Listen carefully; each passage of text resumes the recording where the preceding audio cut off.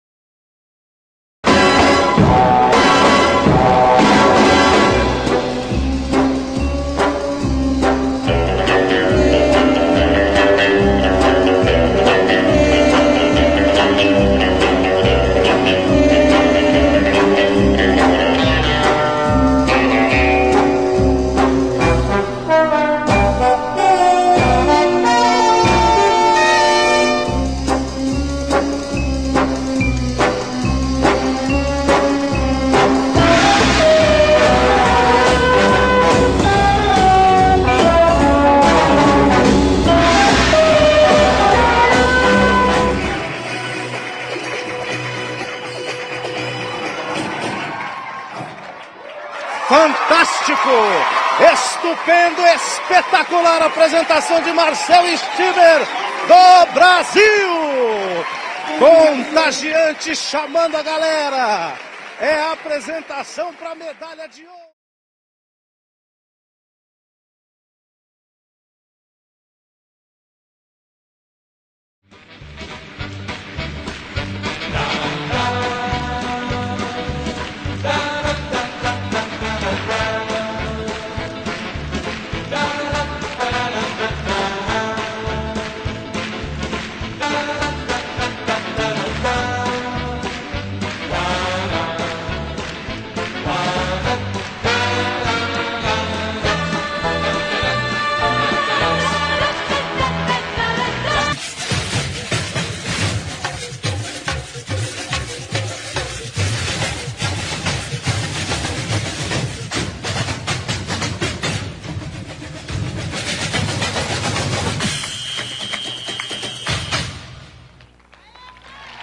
Talita Haas contagiou o público, conseguiu aplausos.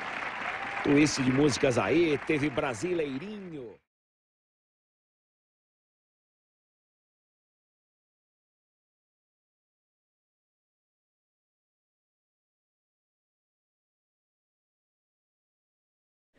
Estou aqui com Nádia e Maurício, pais de Talita Haas, terceira colocada, medalha de bronze nos Jogos Pan-Americanos de Guadalajara. Nádia, o sentimento da conquista da filha no PAN. É uma montanha russa de emoções. Depois do domingo foi algo muito ruim, porque ela foi muito mal. Agora, segunda-feira foi assim, alegria, euforia, foi tudo junto, gente telefonando, ainda está caindo a ficha, ainda não é, não, a gente não sabe ainda, nós vamos ver agora quando ela chegar. E como é que foi o pai? Como é que ficou o coração na hora que recebeu a informação que a Talita tinha ganho a medalha de bronze? Bom, eu posso dizer que já prometi para ela que não ia olhar mais o programa longo, né? Porque o coração acho que não mais duas competições dessas não aguenta, porque a alegria é muito grande. Realmente é satisfação total para nós. Cleonice, o Marcel, momentos antes de embarcar, sofreu um assalto, teve os seus patins roubados. Tudo tinha, tinha tudo para poder abalar um atleta. E o Marcel foi para lá e deu um show. Como é que ficou a mãe aqui no Brasil com toda essa situação e depois a conquista, ver a conquista do filho? Olha, a mãe ficou orgulhosa, logicamente surpresa com a, com a superação do Marcel eu já imaginava que ele fosse surpreender, mas não tanto. Ele foi perfeito, ele teve muita segurança, né? Guerreiro. não tem muito o que definir, né? Ele foi maravilhoso. Então eu acho assim, ó, que o, que o povo brasileiro tem que ter muito orgulho dele, né? E ele defendeu muito bem a nossa pátria. Como é que está o coração na espera da chegada do filho? Qual é a primeira coisa que tu pensa assim em fazer na chegada dele? Abraçar, com certeza, dar um abraço. É o que eu mais quero agora, né? Ver ele pessoalmente, sabe? Porque a gente viu ele saindo com aquela carinha sofrida daqui, né? E agora a gente vai